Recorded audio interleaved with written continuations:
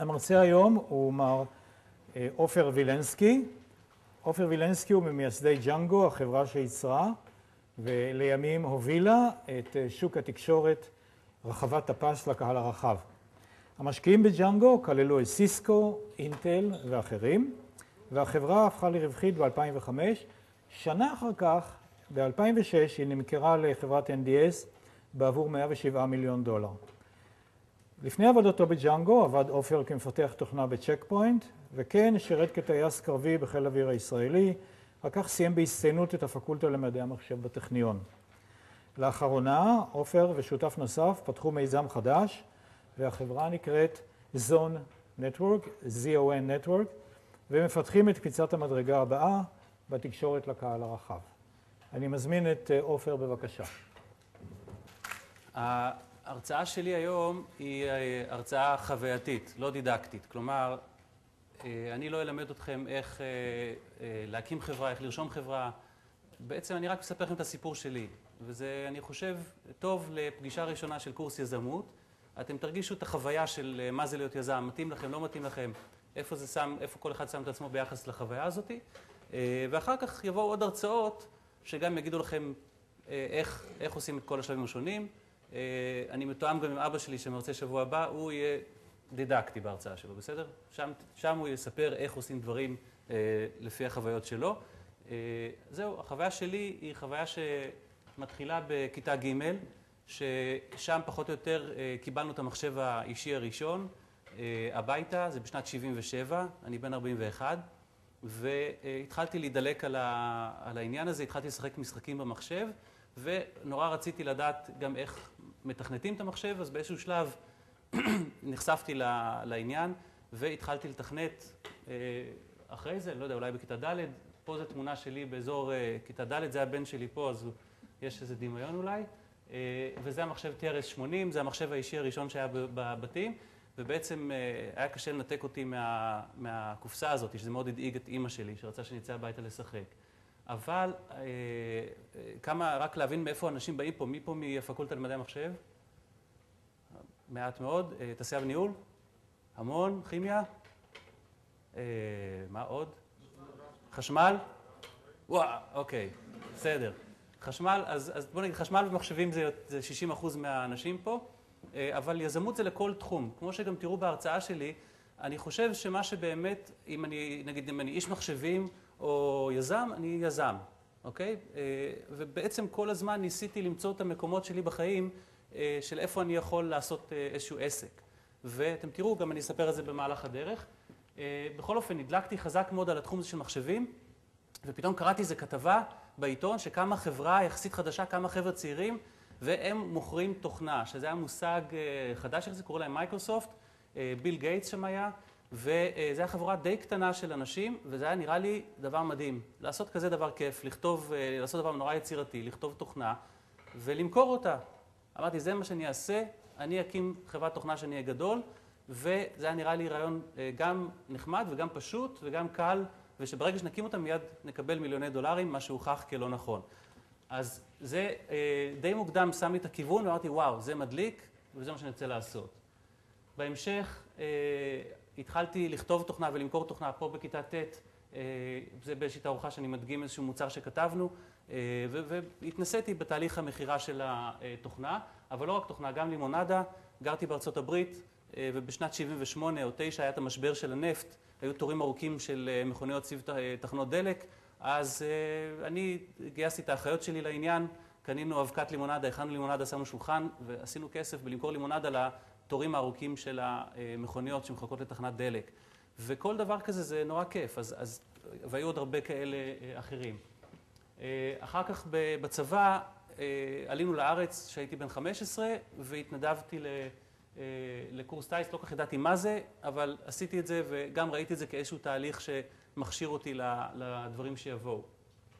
בסופו של דבר ביליתי בצבא שבע שנים, שזה הרבה יותר ממה שתכננתי בתור ילד אמריקאי, שאני תמיד היה לי את המסלול ככה שישר אחרי הלימודים אני לומד תואר ראשון וממשיך הלאה, וראיתי את זה כאיזה סוג של עיכוב שבא לידי ביטוי בטכניון אחר כך. בטכניון למדתי מדעי המחשב, נרשמתי למסלול ארבע שנתי כי כל אמא רוצה שהבן שלה יהיה מהנדס, אז נרשמתי למסלול של הנדסה, חתכתי לשלוש, לתלת שנתי, שראיתי שהזמן דוחק. בעצם כבר הייתי שבע שנים בצבא, עכשיו עוד שלוש שנים טכניון, צריך להתחיל עם היזמות באיזשהו שלב. מה שרשמתי פה, שהדברים דווקא שלקחתי מה, מהטכניון, זה לא הדברים של, לאו דווקא שפת תכנות כזאת או אחרת, אלא הדברים היותר בסיסיים שעוזרים, שמייצרים כלים, כלי חשיבה, פיזיקה, 1, 2, 3, לוגיקה, אלגוריתם תורת הגרפים, זה הדברים שנהניתי בהם, ההסתברות, זה מאוד, מאוד נהניתי מזה, וזה הדברים שלקחתי איתי הלאה. בטכניון עשיתי גם עוד משהו, הקמתי עסק, אז זה עוד פעם, עוד סוג של יזמות אחרת. בעצם אני ואשתי היינו סטודנטים, וראיתי ש... ורצינו לקנות מיטה לדירה שלנו פה בנווה שאנן, ראיתי שמיטות עולות הרבה כסף, הקמנו עסק ישר מהנגר. השם כבר אומר מה אנחנו עושים, נכון?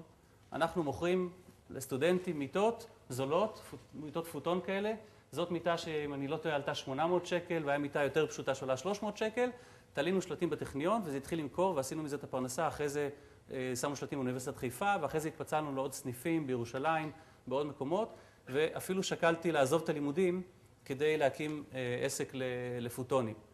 אבא שלי שכנע אותי שזה רעיון לא מספיק טוב, אבל זה היה שיעור מדהים בשבילי. א', אני ואשתי הרווחנו ככה את, את כספנו בזמן, ה, בזמן הלימודים, וזה היה כיף. אפילו נסענו להודו על חשבון העסק הזה, זאת אומרת, מכסף שהרווחנו בעסק, והיה נורא כיף ליזום ולעשות משהו כזה, וגם למדתי מזה את רוב השיעורים החשובים שאחר כך השתמשתי בהם בג'אנגו. ולמעשה, אני חושב שהלקח הוא שיזמות זה יזמות, וזה לא משנה באיזה תחום אתה עושה את זה. גם הבן שלי עידן שאל אותי מה כדאי לו ללמוד אם הוא רוצה להרוויח הרבה כסף, והתשובה היא שזה לא משנה. כל דבר זה בסדר, כי מכל דבר אפשר להקים עסק, לפי דעתי מאוד מצליח. תראו, יש את סטארבקס בקפה, יש את איקאה בריהוט, יש הרבה עסקים מאוד מאוד מוצלחים שלא קשורים בכלל לעולם ההייטק. אוקיי, סיימתי את הטכניון ובחרתי, לא כך, לא כך רציתי להיכנס למעגל הזה של לחפש עבודה דרך חברות ההשמה, מה שמקובל, כי אז אני אגיע לאיזה חברה שאני לא יודע מהי. קראתי כתבה על שלושה חבר'ה צעירים שהקימו חברה בארץ, חברת סטארט-אפ שנקראתה צ'ק פוינט. מישהו שמע על החברה הזאתי? כולם? אז הייתה חברת סטארט-אפ 30-40 איש אני חושב, משהו כזה. ואמרתי, שם אני חייב לעבוד. זה נראה לי עסק רציני, שם אני אלמד את מה שאני צריך לדעת בשביל להקים בעצמי חברת, חברת סטארט-אפ. אז התקשרתי לצ'ק פוינט, אמרתי שאני רוצה לעבוד שם, אמרו לי שהם לא מחפשים עובדים. אז התקשרתי שוב ושוב ואמרתי שהם חייבים לקבל אותי, ושכבר באיזה מקום אחר התקבלתי לעבודה, אבל אני רוצה לעבוד דווקא ב... רואים אותי עכשיו יותר טוב? אוקיי. אז אני דווקא רוצה לעבוד שם, לחצתי, לחצתי, לחצתי, בסוף הסכימו לקבל אותי לרעיון עבודה למרות שהם לא מחפשים עובדים, ואיכשהו ככה התקבלתי לעבודה, ואני שמח מאוד שהייתי שם. זו הייתה חוויה גדולה, הייתי שם בחברה עד שהחברה הייתה בערך 800 או 1,000 אנשים, וניסיתי, תוך כדי שהייתי בחברה, להתברג שם, זאת אומרת, הייתי מהנדס, אבל ניסיתי, ביקשתי מאנשי המכירות שיקחו אותי יחד ללקוחות, מאנשי השיווק שיקחו אותי לתערוכות, וכאילו עזרתי למכירות, עזרתי לשיווק, ודרך זה למדתי על מכירות ועל שיווק ועל דברים אחרים, ובסטארט-אפ זה מקום טוב שכל אחד יכול להגדיל את הראש ולנסות לעשות דברים אחרים וללמוד מזה. אז זה היה, זאת הייתה העבודה בצ'ק פוינט, וב-98 החלטתי שהגיע הזמן, זה אחרי כמעט שנתיים בצ'ק פוינט, אמרתי יאללה, הגיע הזמן לממש את החיידק הזה, ולא היה לי מושג מה אני אעשה. הכרתי בחור, בחור בצ'ק פוינט שעבד איתי ביחד, ששמו דרי שריבמן, איפה הוא? הנה, זה הבן אדם, ואמרנו יאללה, שנינו פורשים מצ'ק פוינט, מקימים חברה. מה נעשה? לא היה לנו מושג במה זה שוק, מה זה מוצר טוב ולא טוב, איך עושים, לא ידענו שום דבר. היינו מהנדסים, מי שפה, כל האנשים מחשמל ומחשבים יודעים שלכתוב דרייבר זה מסובך, נכון? כתבתם פעם דרייבר? אפילו לא לומדים את זה בטכניון. אמרנו, אנחנו יודעים לכתוב דרייברים, נעשה ערכה לכתיבת דרייברים. ישבנו אצלי במרתף של הבית, באותו מרתף עידנצ'וק של הבית שלנו, ישבנו שמה, כתבנו את התוכנה, ותוך חודש כבר שמנו מוצר ראשוני על איזה אתר אינטרנט, אתר שלנו, דף אחד, ואפילו עשינו קופסה, זאת הקופסה, זה מוצר מלפני עשר שנים, שיש בפנים את ה... עשינו, כמובן שהיום זה לא רלוונטי, אבל את ה-CD של המוצר, ואיזה ספר הוראות גדול של איך משתמשים במוצר, אמרנו, יאללה, בוא נראה אם מישהו קונה. פתאום התחילו להגיע הזמנות, אז איך כיוונו את האימייל שלנו על שכל פעם שמגיע הזמנה, זה עושה טה-דה-דה-דה, טה-דם, וזה היה אצלי בבית בסלון, וכל פעם שהיה את הצליל הזה, אז אני ואשתי היינו מבסוטים.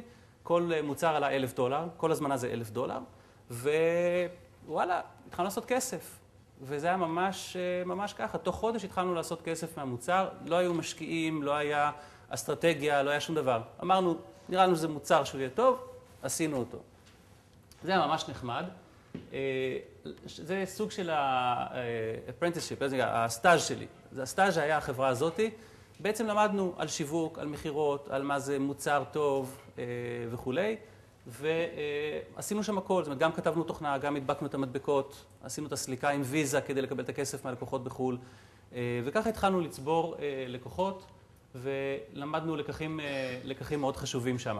למשל, היינו צריכים לשים פתאום מודעה באיזשהו עיתון, כדי שאנשים יכירו, אז האינטרנט עוד לא היה כל כך נפוץ. שמנו מודעה בעיתון שעלתה 20 אלף שקל, וזה בא ישר מהעובר ושב שלנו, וזה כואב, כן? היינו קמצנים, לא היה לנו הרבה כסף.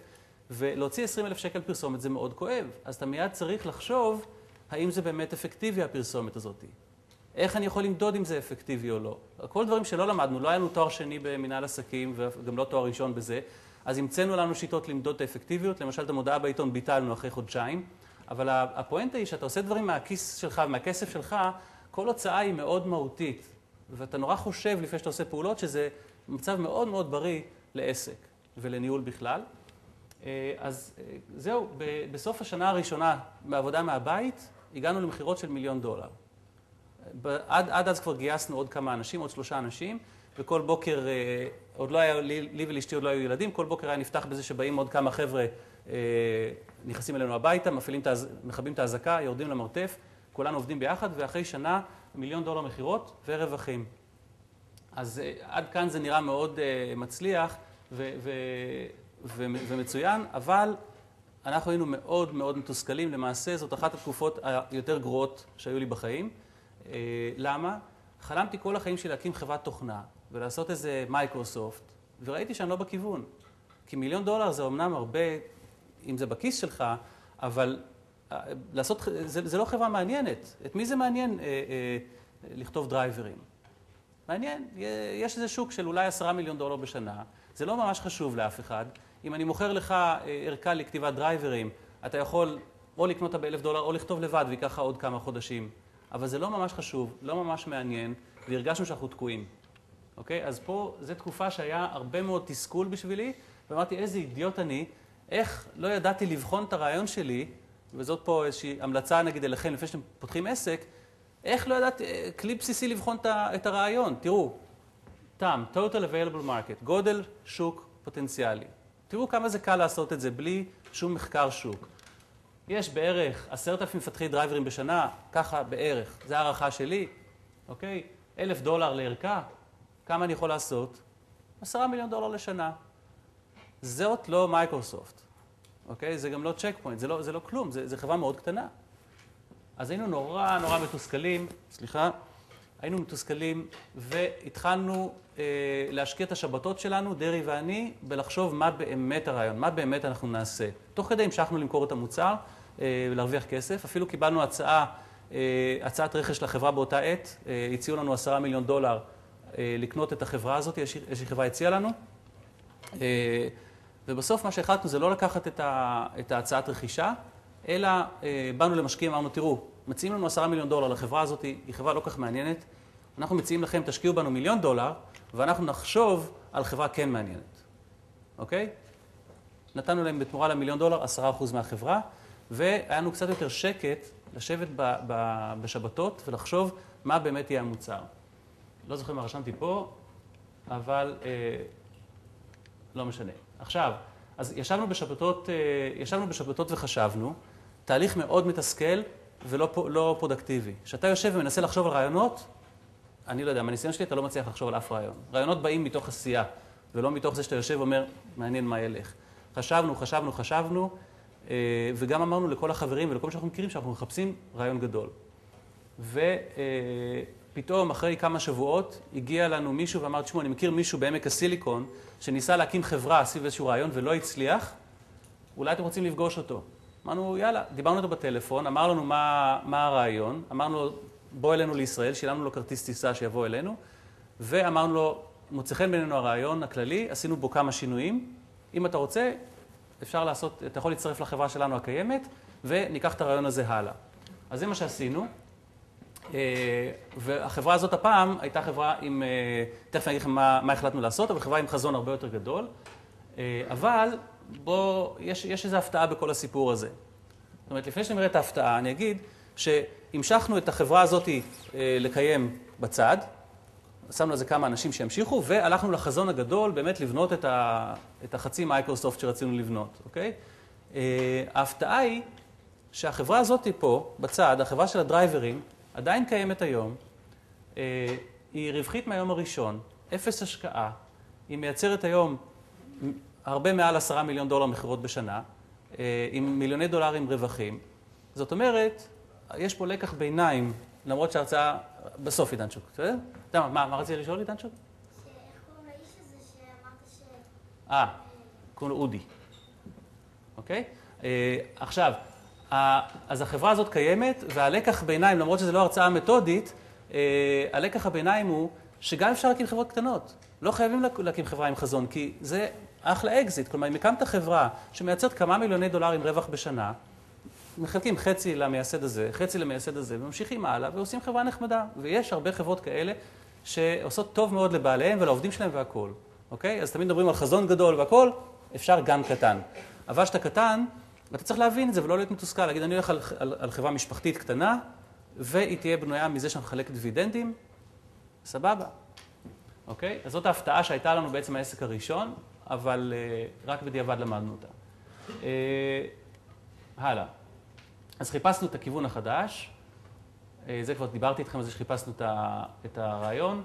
אה, אבל יש פה גם כן אה, לקח מזה שחיפשנו את הרעיון. הלקח הוא שאני חושב שבסוד העניין תמיד זה היזמות, זה אנשים ולא הרעיון. כי עובדה שהתחלנו עם רעיון גרוע, כן?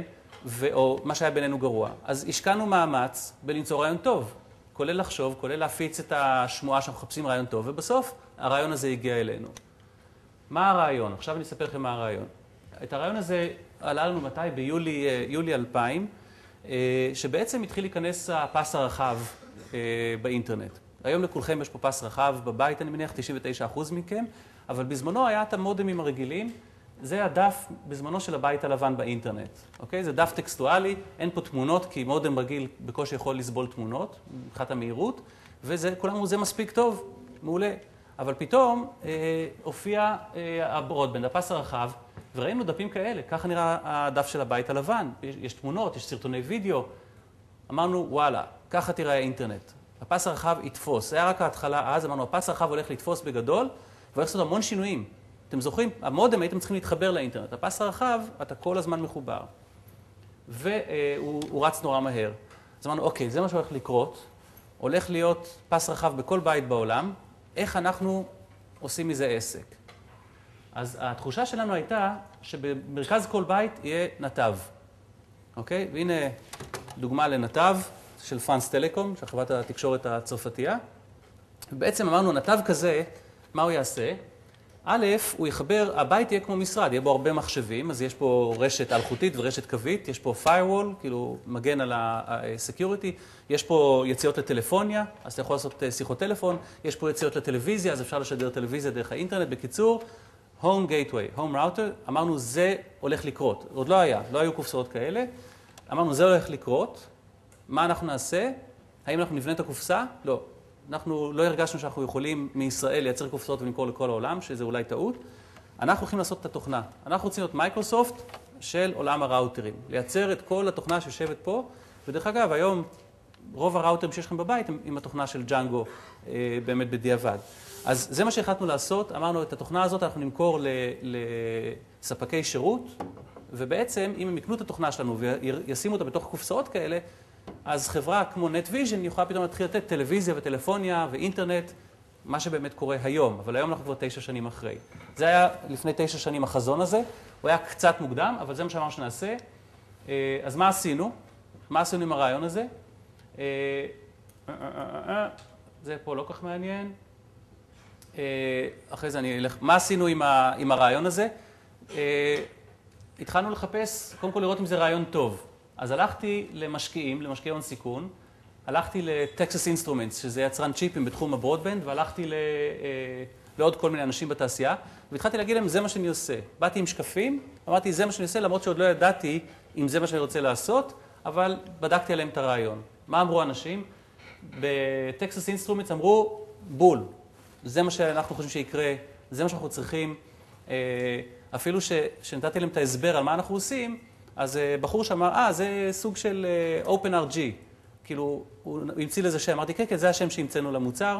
לקחתי ממנו את השם, ועד היום קוראים למוצר ככה, והבחור הזה הוא חבר שלי עד היום. אבל בכל אופן, ראיתי מטקסס אינסטרומנטס שהם צריכים את הדבר הזה. היה מאוד מרגש בשבילי, מאוד מרגש לראות שהרעיון שלנו מתקבל, זאת אומרת שצריך את הדבר הזה שאנחנו עושים.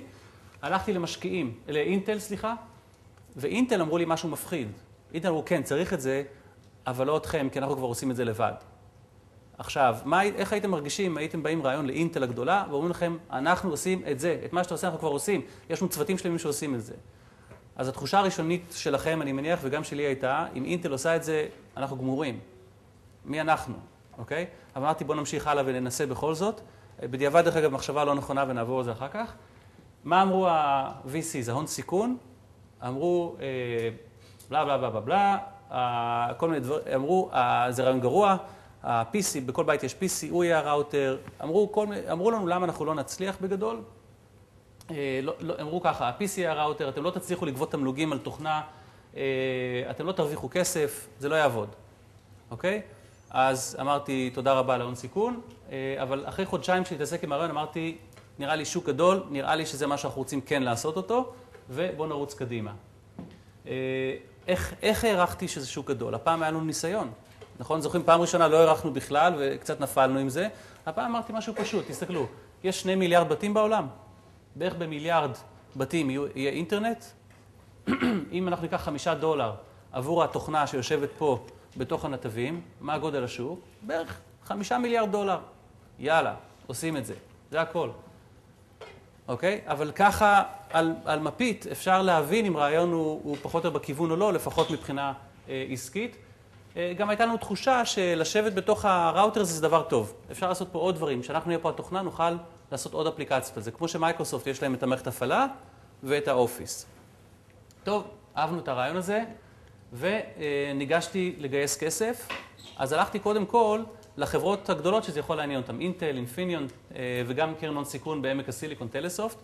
ובעצם, בגלל שזה לא עניין את הקרנות הון סיכון במקור, אמרתי, אני צריך לגרום להם להתעניין. אז הלכתי לאינטל, שאמרה לי שהיא כבר מפתחת את זה, הראיתי לה איך אנחנו כבר התקדמנו בחודשיים מאז שדיברתי איתם, כמה אנחנו מתקדמים, אמרו, וואלה, החבר'ה האלה מתקדמים יותר ממה שהקבוצות שלנו מתקדמות פה בפנים. זאת אומרת, תזכרו, אתם, כל אחד מכם, עם עוד שלושה חבר'ה מוכשרים, שרצים הלאה על רעיון, ירוצו תמיד יותר מהר מחברה גדולה. למה? כי יש לכם יותר מוטיבציה, כי אתם יותר מפוקסים, כי אתם עובדים בצוות קטן, אה, שזה יותר טוב מלעבוד בצוות גדול מבחינת הקואורדינציה, ויכול להיות שאתם גם יותר מוכשרים מהחבר'ה שעובדים בחברה הגדולה. אה, בכל מקרה, הם התרשמו ואמרו, וואלה, אנחנו רוצים להשקיע בחברה הזאת. אז אינטל אמרו שהם רוצים להשקיע, אינפיניון, שהייתה מתחרה של אינטל, אמרה שהיא גם רוצה להשקיע, ואז הקרנות הון סיכון פתאום חושבים שזה רעיון מצוין. כי הם אוהבים ללכת אחרי רעיונות שכבר הוכחו שמישהו מוכן לשים עליהם כסף, אז גם טלסופט השקיע, ובעצם גייסנו 7 אה, מיליון דולר, אה, אבל זה היה בדיוק בנפילת הנסדק. אם אתם זוכרים, בשנת 2000 אה, הבורסה הייתה ב-5,000 והתחילה צניחה חופשית. פה התחלתי לגייס את הכסף, כל יום הבנתי שהסיכוי שלי לסגור את העסקה הזאת הולך ונופל, ובאמת הייתה קרן הון סיכון אחרת בתמונה, שמשכה, בערב האחרון משכה לי את הטרם שיט, את ההצעת אה, השקעה. חיפשתי אה, משקיע אחר, מצאתי טלסופט, וגייסנו בסוף 7 אה, מיליון דולר, שעזר לנו להתחיל לגייס צוות יותר גדול ולבנות את המוצר בקצב מואץ ולפתוח משרד בחו"ל וכולי. זהו, גייסנו הרבה יותר כסף ממה שהיינו צריכים. חשבתי שאתה צריך מיליון או שני מיליון דולר כדי לעשות את הרעיון הזה.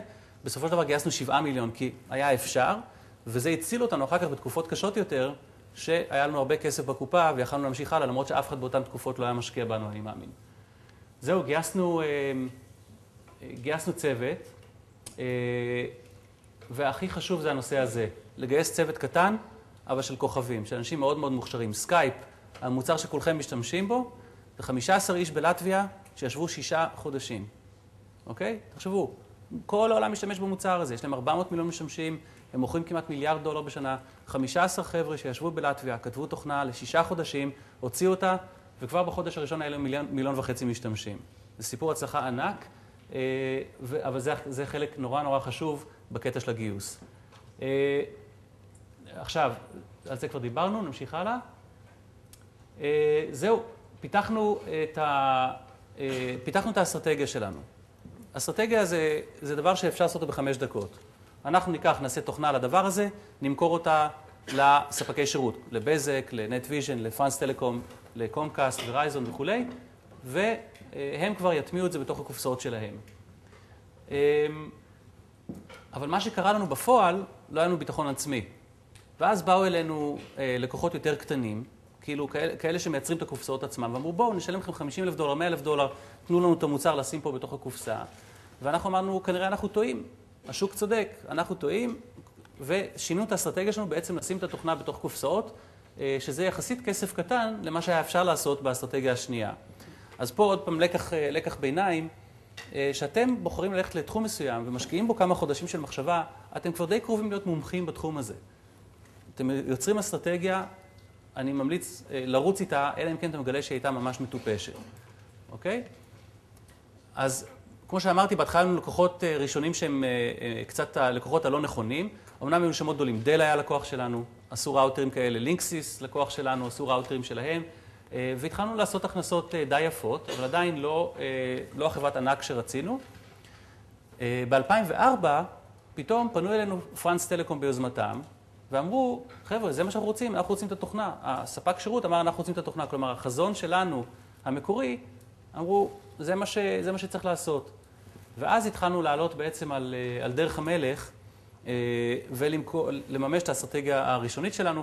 התחילו להיות לנו לקוחות מאוד מכובדים. אתם רואים, כל אחד עושה את הראוטר הביתי שלו, בכולם התוכנה של ג'אנגו בפנים, אה, ורייזון האמריקאים, פרנס טלקום, טלקום איטליה ועוד, אה, ועוד אחרים. תקופה מאוד מרגשת. התחלנו לפתוח משרדים בהרבה מקומות בעולם, נדמה לי שמונה משרדים במקומות שונים בעולם. גייסנו עוד ועוד אנשים, וכבר בשלב הזה היינו יותר מ-100 איש בחברה, והיה מאוד כיף. כל יום חמישי נפגשים ככה כל החבר'ה, מספרים על ההצלחות של אותו שבוע, מה אנחנו מפתחים, מה אנחנו מוכרים, והיה בהחלט אה, חוויה נחמדה. והתחלנו לפתח מה שנקרא ecosystem, אה, מערכת אה, מחיה. שמנו את ג'אנגו במרכז, ובעצם לקחנו חברות שעושות צ'יפים, אמרנו שהצ'יפים שלכם יעבדו עם התוכנה שלנו, עבדנו איתם ביחד, לגרום לזה שיהיו צ'יפים נכונים, שיהיו קופסאות מכל היצרנים, אתם רואים, סיסקו וכל ה... היצרנים שאתם מכירים שעשו קופסאות עם התוכנה שלנו.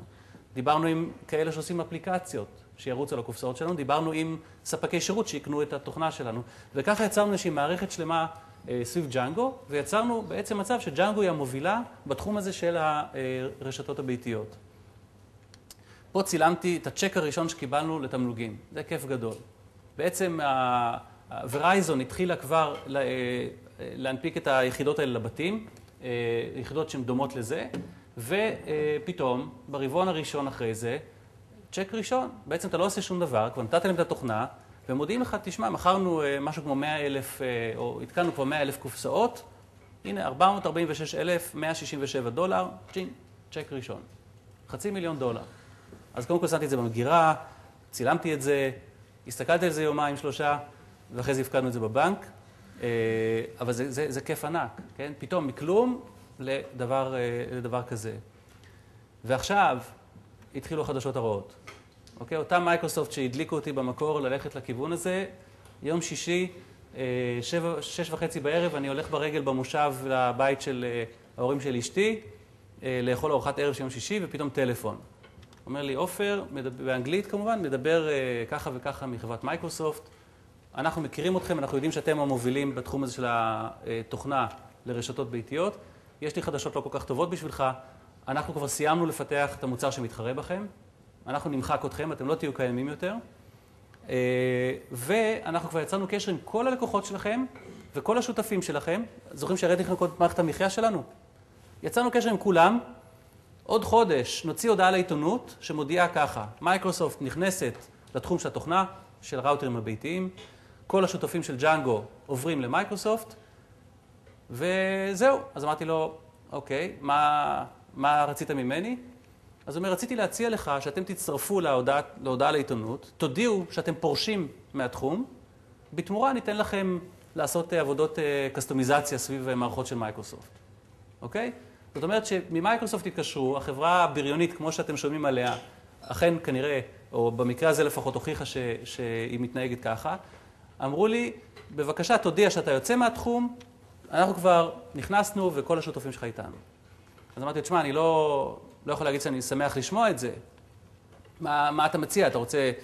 זאת אומרת, אמרתי, יש לי כמה אפשרויות עכשיו. חשבתי בקול רם בטלפון, אמרתי, אני יכול להיכנע, אני יכול להחליט שאני נלחם בך, או שאולי אתה רוצה לקנות אותי. אז הוא אומר, תשמע, לקנות לך אין טעם, כי כבר פיתחנו את המוצר. אה, להיכנע זו אופציה די טובה, ולהילחם אין טעם, אנחנו חברה עם עשרות אלפי מהנדסים. אתה רוצה להילחם בנו? זה לא רעיון טוב. אמרתי, תשמע, אני עכשיו יום שישי, יום שני אני אצלכם ברדמונד בוושינגטון, בואו נדבר. אז מיד הזמנתי כרטיס טיסה, טסתי למייקרוסופט, אה, ישבו שם 15 מהנדסים וקיבלו אותי בפגישה. מזה שישבו שם כל כך הרבה מהנדסים, הבנתי שהם בצרות. כי אם, הרי הפגישה צריכה להיות פגישה פשוטה, בא איש אחד עם פטיש ואומר לי, אתה זז או שאני אה, דופק אותך. אז אם באים מהנדסים, כנראה שהם לא בדיוק סגורים על המוצר, כנראה שהם רוצים ללמוד קצת, הם ישבו כולם עם מחברות ורצו לרשום. אז אמרתי, אה, הבנתי את הנושא, טסתי מהר לשותפים שלי לבדוק אם באמת הם עברו למייקרוסופט, והשותפים שלי אמרו, תשמע, אנחנו באמת נופיע בהודעה לעיתונות, אבל אין ברירה, זה מייקרוסופט, שאומרים לך לעשות מה שאנחנו עושים, אבל אנחנו נמשיך לעבוד איתך. הרגשתי מספיק ביטחון לרוץ הלאה ולהמשיך, אה, וזו הייתה החוויה, אה, זה ה press release שהם הוציאו באמת והודיעו ש, ש, שבאמת כל השותפים שלנו איתם, זו הייתה תקופה מאוד מאוד מאוד מאוד מלחיצה, חשבתי שכבר העסק הולך אה, קפוט, בדיעבד באמת רצנו שוב פעם, מעט חבר'ה, רצנו מהר קדימה, עקפנו בהרבה דרגות את מה שהיה למייקרוסופט באותה תקופה. ובעצם אה, זכינו בלקוח אחרי לקוח, ומייקרוסופט זכתה בסוף בלקוח אחד. אז התוצאה הייתה בערך 100 ל-1, עד שמייקרוסופט יצאה בסוף מהתחום הזה. אז זו אה, חוויה קטנה, שאם לעבוד על אה, מסרי ביניים, המסר ביניים פה אני חושב זה שחברה קטנה, יש לה יתרון על חברה גדולה. זאת אומרת, דוד נגד גוליית, שתמיד מספרים כמה דוד היה גיבור, היה לו יותר קל. כמה זמן עוד יש לנו?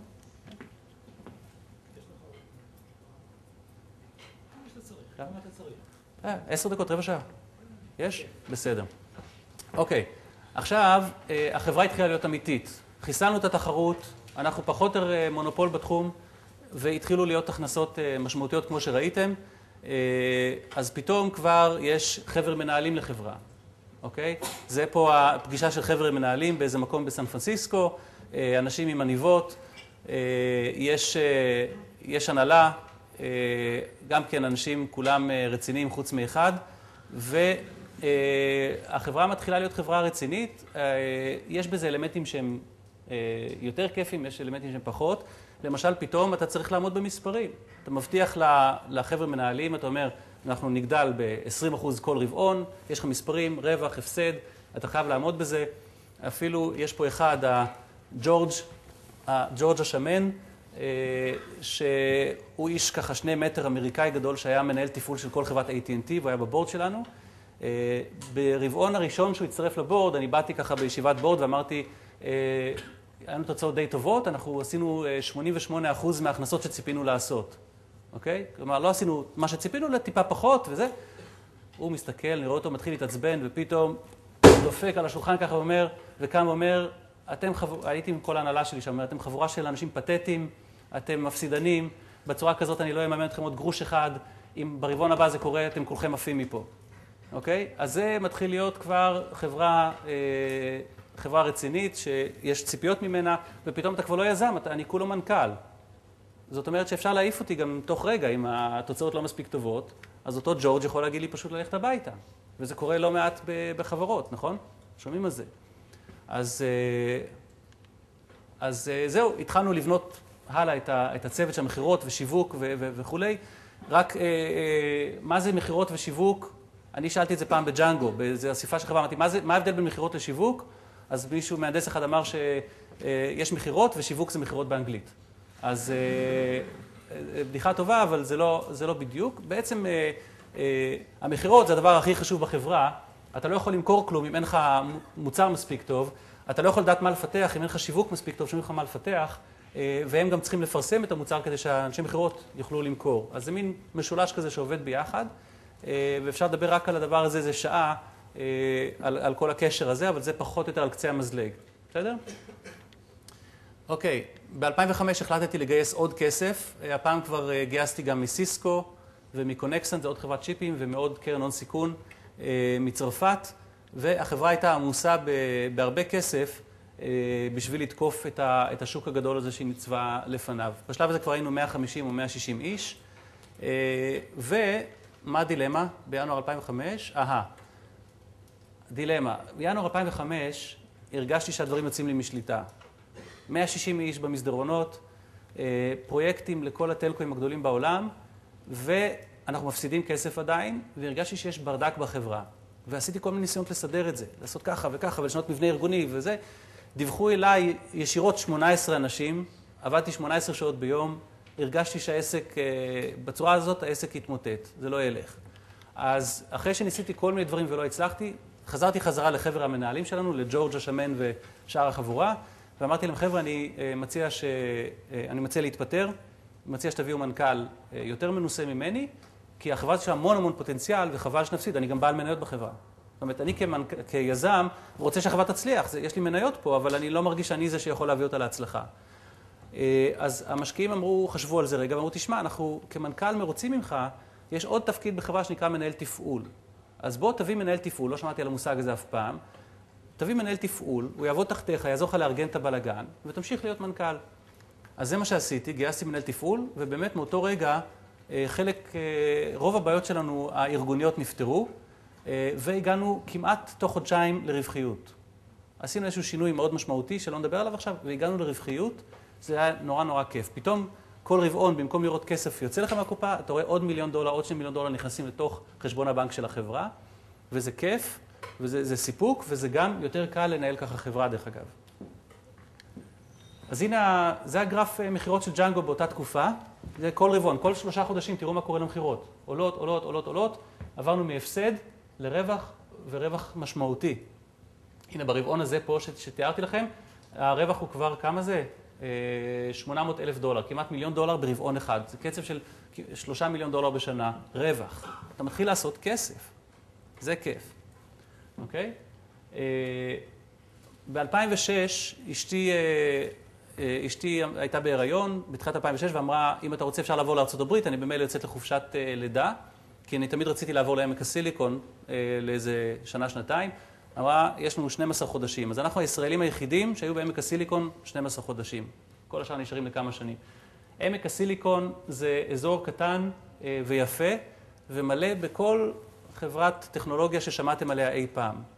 והמעבר לשם, אנחנו גרנו איפשהו פה, והמעבר הזה אפשר לי בעצם להיפגש ארוחת בוקר, צהריים וערב עם הלקוחות והשותפים, ולהבין מה קורה בשוק, למכור את המוצר. בסוף מנכ"ל הוא האיש מכירות, הוא צריך להיות איש המכירות מספר אחד של החברה.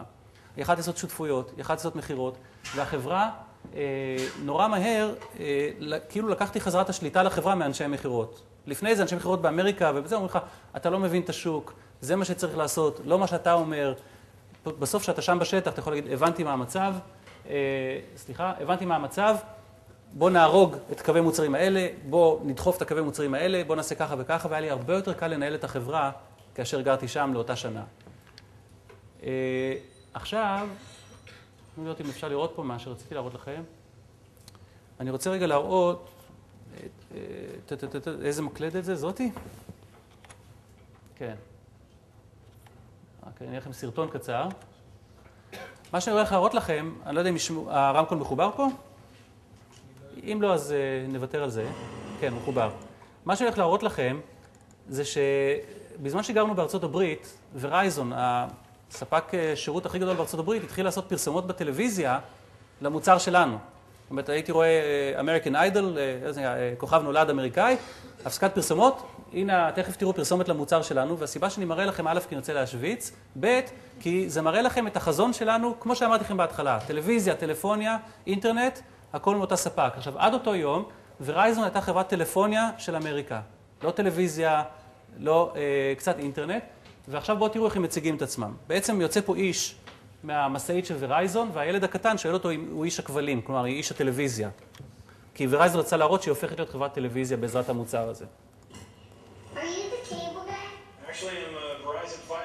bring fiber optics right to your door on three different spectrums of light. You got your 1310, your 1490, and the 1550. The light is so clean, it's plus 20 dB high. Verizon Fios. Experience the difference of fiber optics straight to your door. The fastest internet. Internet. Televizia. Telefonia. Plus expert in-home installation and 24-7 customer support, all at no extra charge. Verizon Fios. TV, internet, and phone for under $95 a month for one year. Call 1-877-TAP-FIOS. And I set up your wireless home network and make sure your TV and internet work together seamlessly. It's true quantum. זה אנחנו הוספנו.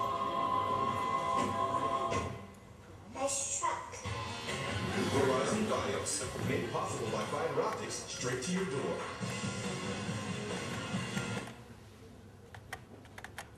אוקיי, אז uh, בקיצור, ראיתם שבאה חברת טלפוניה ואומרת, אני עכשיו טלוויזיה. במקום לקחת 20 דולר לחודש, או כמה שלוקחים לטלפון, לוקחים 100 דולר לחודש, יש לך טלפון, טלוויזיה ואינטרנט. בדיוק החזון שהיה לנו, שהקמנו את החברה. אז היה מזל גדול שהעולם באמת בא למקום שרצינו, ועל כל בית כזה בארצות הברית, כמה דולרים הלכו אלינו. היום יש כבר, אני לא יודע מה, שישה, עשרה מיליון בתים בארצות הברית עם המוצר הזה אצלם בבית. טוב, אז מה קרה? באוגוסט 2006, זה עכשיו הקטע שכולם צריכים רגע לקום בכיסא, זה הקטע שבשבילו הרבה אנשים אה, מקימים את החברה. אוגוסט 2006, דפיקה בדלת, אה, למעשה הגיעו NDS אה, ואמרו, אנחנו מעוניינים בחברה שלכם, אוקיי? מעוניינים אולי לרכוש את החברה. אז הייתי בארצות הברית, הם הגיעו למשרד של, שלי שם בארצות הברית, אה, האיש שאחראי על הטכנולוגיות. וקודם כל, למה הם הגיעו אלינו עכשיו, באותה, באותה תקופה? כי באמת זה שאני חושב שהייתי בארצות הברית, ולקח את החברה בכיוון שהשוק הולך אליה, אה, הפך את החברה למאוד אטרקטיבית. ההובלה בשוק, היינו המובילים הכמעט מונופול בשוק הזה של ההום גייטווייז, ומכירות מאוד משמעותיות, רווחים גדולים, וחברה של 160 איש.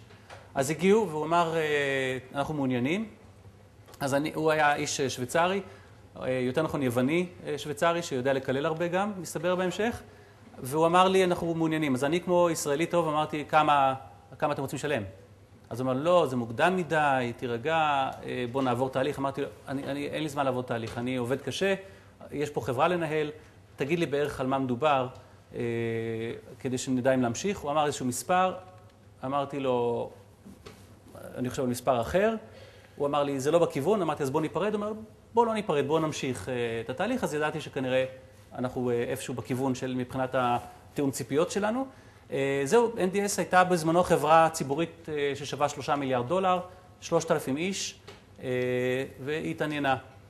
אז עברנו איזשהו תהליך ארוך עם, NDS, אני לא אעבור את כולו פה, אבל התהליך הזה עבר זה שהיינו ביחד אצל לקוחות, נפגשנו הנהלות של החברות ביחד, ראינו שיש התאמה אישית, אה, נפגשתי מן הסתם עם המנכ"ל של, של החברה כמה פעמים, אה, ובסוף הם ראו שזאת חברה, החברה שלנו, היא מתאימה לתרבות שלהם והיא מתאימה לשוק שלהם, אה, ונכנסנו למשא ומתן אה, על התנאים הסופיים. המחיר עצמו הוא פרט אחד רק מכל התנאים שיש בעסקה, אוקיי? הוא פרט הכי קל דרך אגב. מאוד מהר מגיעים בשוק, אה, אה, כמו שתיארתי לכם את השוק שעשינו, אני רוצה ככה, אתה ככה, כמו שאתה עושה משא ומתן על אה, אוטו משומש, אותו דבר, אוקיי? וזה קל. אז תוך זמן קצר מגיעים להסכמה על המחיר, אבל אחרי זה יש עוד שאלות, האם זה במזומן או במניות למשל? האם אתם רוצים מניות של החברה שקונה אתכם או, הכס, או כסף מזומן? מה התנאי תשלום? מה, איזה תנאים צריך לעמוד בהם כדי שזה יקרה? בקיצור, עשינו את כל המשא ומתן הזה. אה, מאוד מהר החברה הקונה מחייבת אותך לחתום על no shop זה נקרא, זה אומר שאסור לך יותר לחפש קונים אחרים. אז אני דחיתי את זה בשבועיים. ברגע שקיבלתי הצעה, אמרתי להם, אה, ככה קצת עיכבתי, אמרתי, לא חותם על המסמך הזה שבועיים, רצתי לכל השותפים שלנו הגדולים, אמרתי, שימו לב, הולכים לקנות אותנו, מי שרוצה מוזמן להציע יותר, אה, ובאמת הייתה חברה שהציעה יותר, והיה איזושהי תחרות קטנה על המחיר, ובסוף חתמתי אחרי שבועיים עם NDS על, ה, על, ה, על החוזה, והתחלנו לעשות משא ומתן סופי לקראת, לקראת החוזה הסופי. תהליך כולו מורט עצבים בטירוף, אה, מעסיק אותי 150% מהזמן שלי. באותה תקופה המשפחה שלי לא ראתה אותי הרבה, אה, והייתי עסוק כולי בתוך המשא ומתן. עכשיו, אה, היה לי איזה תיאוריה, אני ראיתי חברים שלי שמכרו חברות, והיה לי תיאוריה, ראיתי שיום אחרי שמוכרים את החברה, השמש זורחת להם מהתחת, אוקיי? ורציתי לראות אם זה גם יקרה לי, אז אמרתי לאשתי מראש שתסתכל טוב לראות אם זה קורה. בעצם הרעיון הוא ש... אתה, אתה איש רגיל ומתאמץ ועובד קשה וכל דבר קשה לך ואתה לא יודע מה יקרה, יום אחרי המכירה, השמש בתחת שלך ואתה יודע את כל התשובות, אוקיי? כאילו אני עומד פה, אני לכם בטוח ויודע והכל, אז זה הכל קשקוש. ועכשיו דרך אגב אני מנכ"ל עוד פעם של חברת סטארט-אפ ועוד פעם קשיים ועוד פעם התלבטויות, אז זה קרב ענק, אה, אבל כן אה, אמרתי לאשתי בוא נראה אם גם, אם גם זה יקרה לי ונעקוב אחרי זה בדריכות. אה, טוב, היינו במשא ומתן, באתי לארץ אה, לכאן, להיות ליד החברה ולסגור את העסקה, עשינו את המשא ומתן בתל אביב אה, עם NDS, במשרד של הרצוג פוקס נאמן, אה, ובנובמבר, לקראת, ממש לקראת חתימה על העסקה, הייתה הדלפה לעיתונות, הנה דה מרקר, ככה אני נראה עם שיער? NDS רוכשת סטארט-אפ ישראלי ג'אנגו בעסקה של מעל 100 מיליון דולר. עכשיו, זה קטסטרופה, אז התקשרו אליי, התקשרו אליי לפני זה מדה מרקר, אמרו עופר, הולכים לכתוב כתבה, מה התגובה שלך? התגובה שלי אמרתי זה שאני רוצה שלא תכתבו את הכתבה, אה, אז אמרו לי אין מה לעשות, זה הולך להתכתב. למה אני לא רוצה שזה יתפרסם? אנחנו עובדים כבר שמונה שנים על לקראת העסקה הזאת, כן? ובעצם יכול להיות שתתפרסם הכתבה, בעלי המניות של NDS יחשבו שזה טעות, יתחילו למכור את המניות של NDS, NDS אה, תצנח, והם יגידו, אוקיי, אנחנו לא קונים את החברה. זאת אומרת, למשל. או למשל, מה קורה לעובדים שלנו, שפתאום רואים שיש עסקה כזאת על הפרק, אה, והם כולם מפסיקים לעבוד, רוצים לראות מה קורה עם העסקה. מהר אה, אמרתי לכתב, תן לי שעה בבקשה, אל תרשום את זה שעה, תן לי קודם לדבר עם העובדים. כתבתי לי מהר, זה ה... ישבתי אצל העורך דין, כתבתי מהר אה, רשימה של דברים שאני רוצה להגיד לעובדים שלנו, זה הפתק מה, מהעניין. ובעצם מה שאמרתי לעובדים, כן, יש עסקה על הפרק, היא עוד לא בטוחה, אתם תדעו ראשונים כל הזמן מה קורה, אני לא מבלבל לכם את השכל בגלל שעסקאות כאלה גם יכולות ליפול. המשכנו את המשא ומתן, אה, והיו לנו בעיות ברגע האחרון, אה, לפני שמראה את התמונה הזאתי. כשהציעו לנו את ההצעה, הציעו לנו פחות מ-100 מיליון דולר. התקשרתי לבורד שלי, לחבר המנהלים, לבעלי המניות, ואמרתי, תשמעו, יש פה הצעה לרכוש את החברה. אמרו, במחיר הזה אנחנו לא רוצים למכור את החברה. אמרתי, באיזה מחיר אתם מוכנים? אמרו, מעל 100 מיליון דולר אנחנו מוכרים. אמרתי, בסדר גמור. התקשרתי בסוף המשא ומתן, ביום לפני האחרון פה, ואמרתי, העסקה היא על 107, 107 מיליון דולר. מה, כאילו, קדימה. אז כמובן שהם אה, חשבו 2-3 דקות ואמרו, אוקיי, לא מוכרים, רוצים 200. בואו נחכה עוד שנה, נמכור ב-200. אמרתי, זה כבר, אה, זה כבר לא מקובל עליי, אה, ולמעשה, פה דייב הוא עוד איש מה board שלנו שהוא היה בצד שלי, לקחתי אותו לכל ה... בכל העסקה לקחתי אותו איתי שהוא יהיה הנציג של הבעלי מניות, והוא ואני ב... רצינו לשכנע את כל ה board שכן ייקחו את העסקה הזאת, ופה בדיוק ישבנו בבן גוריון בדרכנו לארה"ב, בדיוק ליד המקדונלדס שם, אתם יודעים איפה המקדונלדס בעולם יוצאים? אז ישבנו שנינו, כל אחד בפינה אחרת עם הטלפון, מדברים עם הבורד, אחרי חצי שעה הם הסכימו למכור את החברה, אחרי אה, כל מיני איומים שונים, ואז פה הצטלמנו, שמחים, מאיזה טלפון סלולרי מצ'וקמק, שמחים שהצלחנו לשכנע אותם ושהעסקה תצא לפועל. אז כאילו עברנו את המכשלה המשמעותית, ובעוד כמה ימים היינו אמורים למכור את החברה. אה, ואז ב... דיברתי עם ערן, המנהל תפעול שלנו, אמרתי לו, ערן, מחר, יום אה, שני, תגיד לכל העובדים בתשע וחצי בבוקר להגיע להרצליה לאיזה מסעדה יפה, לארוחת בוקר, ושם נודיע להם הודעה אה, משמחת. קנינו מתנות לעובדים, סגרנו את המסעדה, כולם יודעים כבר מה רוצים להודיע להם, ובלילה בין ראשון לשני לא הצלחנו לסגור את החוזה.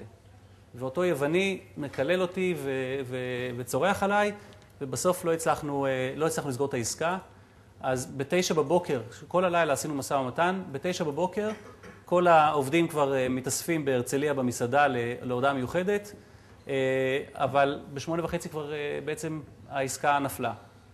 אז התקשרתי לערן, אמרתי לו, ערן, תגיד לכולם שאין עסקה, שיאכלו ארוחת בוקר, יחזרו לעבודה, וזה מה שיש. חזרתי לבית שלי במושב, נשכבתי על הרצפה, ופשוט רציתי למות מרוב עייפות. ערן החליט שהוא לא מספר לעובדים שאין עסקה, הוא אמר, שיאכלו קודם כל ארוחת בוקר, נודיע להם אחרי.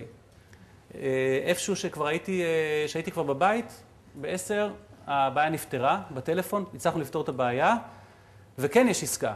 אז מהר חתמתי בפקס על המסמך, רצתי להרצליה והודעתי לעובדים שיש עסקה, אוקיי? ואז באותו רגע, כל עובד שהיה לו מניות, של כולם, המניות האלה הפכו לכסף מזומן. אז מן הסתם היה שמחה בקרב העובדים, היה שמחה אצל המשקיעים שעשו הרבה כסף על ההשקעה שלהם, ואצל כולנו היו כתבות, ופה ושם, ואני ודרעי השותף שלי נכנסנו לבית חולים. אמיתי, זה מה שהיה. אני קיבלתי מחלה נדירה שתוקפת אנשים בני 93, שנקראת שלווקת חוגרת. בעצם איזו נפיחות נוראית, כואבת ככה פה, שהיא מתקרבת לעין וזה יכול להיות מסוכן. הייתי כמה ימים בבית חולים, דרעי קיבל דלקת ריאות, חודש, ובעצם זה סימן, זה סימן לכמות המתח שהיינו, שהיינו בתוכו. היינו במתח אדיר, וברגע שהגוף ככה שומר אדרנלין גבוה כדי שלא תכלה, וברגע שהעסקה נגמרת, יורד אדרנלין ובדרך לבית חולים. זהו, מה עשינו אחרי זה? מאותו רגע, דרעי ואני החלטנו לבנות את החברה כדי שהיא תחזיק מעמד עוד הרבה שנים אחרינו, כי ידענו שאנחנו לא נשאר הרבה זמן בחברה. בנינו צוות הנהלה, ניקינו, שינינו את, קצת את החברה, בנינו חזון ברור לכמה שנים קדימה שהחברה תוכל להמשיך בלעדינו עד שהיא יודעת לרוץ על הרגליים שלה.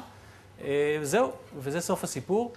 הבאתי לכם כמה אנקדוטות או אמרות שפר בסגנון ה-Mythbusters, לראות, אוקיי, האם חברות, בעקבות ההרצאה שלי, כולכם צריכים לדעת את התשובות, כן? אין מבחן. האם חברה גדולה עושה יותר טוב מחברה קטנה? תמיד חשבנו שכן, busted לחלוטין. חברה קטנה, יש לה יתרון, לדוד יש יתרון על גוליית, חד וחלק. מה עוד? אין דבר כזה, תמיד אומרים לי בתום לב, אין נכון, לא נכון, יש כל מיני דעות. אז זה לא בדיוק. יש דברים שממש לא נכונים. הרבה אנשים מדברים שטויות, אל תעשו את השטויות, תעשו מה שנראה לכם נכון. האם הלקוח תמיד צודק? מה? כל, אוקיי, תעשייה וניהול אומרים כן, כל השאר לא. אוקיי, הלקוח לא, הלקוח, הלקוח יודע, הלקוח יודע רק, רק מה הוא צריך עכשיו. כמו שהנרי פורד אמר, אם הייתי שואל את הלקוחות שלי מה הם צריכים, היו אומרים, לא יודע מה הוא אמר, עגלה יותר מהירה, עגלה יותר גדולה, עשיתי להם אוטו. אם אתה עושה מהפכה, הלקוחות לא יודעים מה הם רוצים. אל תיתן להם, אל תיתן להם לבלבל אותך. אתה אומר, זה העולם הולך לשם, רוץ קדימה. מה עוד? זהו, האם, האם הגודל השוק הוא קריטי? אני חושב שכן, זה נכון. עם, עם ההסתייגות הקטנה שאפשר גם לעשות חברה קטנה. טוב, מה, סוף הסיפור וסוף ההרצאה. עשיתי, פרשתי מג'אנגו אחרי שנה שניהלתי אותה תחת החברה החדשה. עשיתי דברים שאני אוהב, הייתי פה עם עידן, הבן שלי, בסקי, עם חברים שלי בטיול, התחלתי לצייר, וזאת הפנסיה שתלמיד חלמתי עליה, וזה היה חודש מאוד יפה, אבל בסוף החודש הזה, השותף שלי ואני הקמנו את החברה הבאה, וזה פה, אחרי ג'אנגו, הפרויקט הסודי של עופר ודרעי, גייס 7 מיליון דולר. עוד פעם, גייסנו 7 מיליון דולר, והסיפור מתחיל מההתחלה. עוד פעם 7 מיליון דולר, כמו פעם שעברה. ובעצם, למה אנחנו עושים את זה? כל הזמן שואלים אותי. פשוט יש לנו פה הזדמנות באמת לעשות אולי משהו יותר גדול ממייקרוסופט, אוקיי? ובחברה הקודמת לא עשינו את זה. הפעם אנחנו חושבים שיש לנו הזדמנות לעשות משהו יותר גדול ממייקרוסופט, אז אנחנו הולכים, הולכים על זה, ואנחנו אומרים אולי, אולי זה יהיה אנחנו, התמונה הזאת. זה המייסדים הראשונים של מייקרוסופט למי שלא... מה זה? לא, יש לנו גם הרבה שיער, אין לי, אין לי, אין לי הרבה סיכוי לראות ככה. אבל, אבל זאת ההשראה, זה ביל הקטן. וזהו, אבל באמת הפעם אנחנו חושבים שיש לנו רעיון, זה הרעיון בעינינו, ולכן אנחנו רצים על זה בכל הכוח. אנחנו עשרה, אחת עשרה אנשים יושבים באזור תעשייה הפולג בנתניה. זהו, זה הסוף נדמה לי, כן.